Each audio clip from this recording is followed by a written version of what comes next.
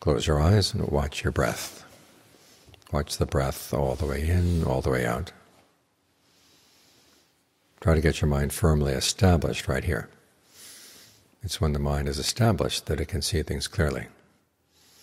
Otherwise it's spinning around with the world. Gain, loss, status, loss of status, praise, criticism, pleasure, pain. These things switch back and forth, and if you follow them, you start spinning around. And when you're spinning around, you get dizzy, you can't really see clearly what's right, what's wrong. You hold on to some things thinking they're permanent, and it turns out that they change. And as for things that really are solid, you miss them entirely. So get the mind firmly established, and then you begin to see what's permanent and what's not. It's like someone who's been on a train. You look out the train window and everything's moving. People move, cars move, trees move, mountains move, houses move. Everything's moving because you're moving. It's when the train stops, you get down and stand on the ground, you look around, you see, oh, people move, cars move, but trees don't move, houses don't move, mountains don't move.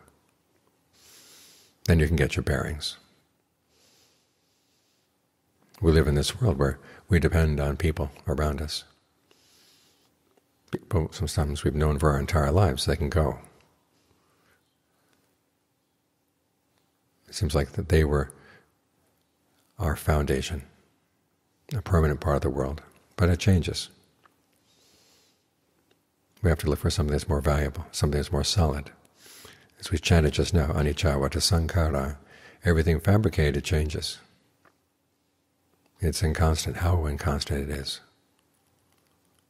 It keeps on falling away, falling away, falling away. Our thoughts fall away, our bodies fall away, the people around us fall away.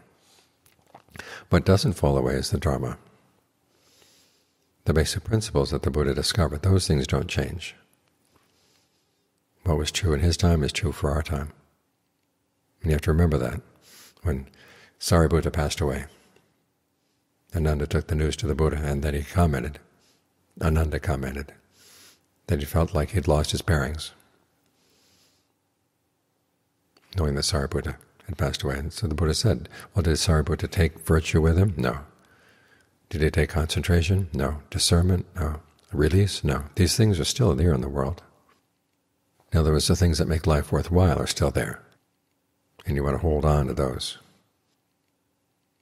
That way when people that you depended on pass away, you still have something inside that you can depend on even more. So always keep that in mind. Look for what's really lasting in life. Hold on to that. And as for things that pass away, as for people, you make merit. After all, you want to recognize the fact that they have been helpful to you. Dedicate the merit to them. Hope that they're happy wherever they go. But you still have to live in this world. So hold on to the good things in this world, the things that are really solid. And in fact, it's holding on to the things that are really solid that you have something good to send to the people who've passed away.